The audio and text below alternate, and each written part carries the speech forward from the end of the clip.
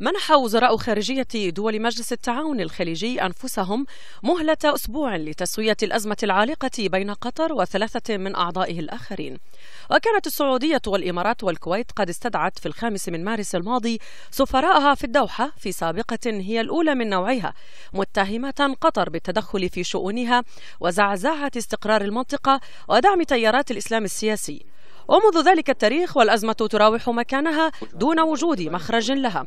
وكان وزير خارجية قطر خالد العطية قد أعلن في أبريل الماضي ومن الكويت أن الأزمة انتهت دون تنازل من أي من الجانبين وأنه لم يتبقى سوى إعادة السفراء إلى الدوحة ولكن يبدو أنه كان تصريحا من طرف واحد ولم يرجع السفراء.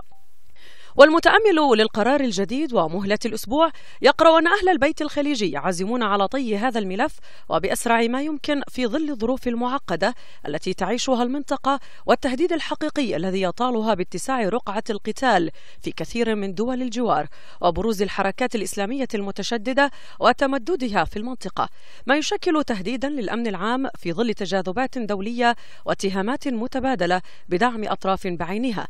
بجانب الهيمنة الإيرانية على المنطقة وسيطرتها على القرار في دول مثل سوريا والعراق. ويبقى السؤال الأبرز وهو كيفية التوصل لحل يرضي كل الأطراف. فالدوحة أعربت أكثر من مرة أنها لا تقوض الأمن الخليجي وأن ما تقوم به من أعمال وأفعال يأتي في إطار سياستها الداخلية وتحت حقوقها السيادية. في حين تتمسك الأطراف الأخرى بكل مطالبها حتى يعود البيت الخليجي إلى سابق عهده. فهل تنجح مهلة الأسبوع في حلحلة تراكمات أشهر؟ إن غدا لناظره قريب.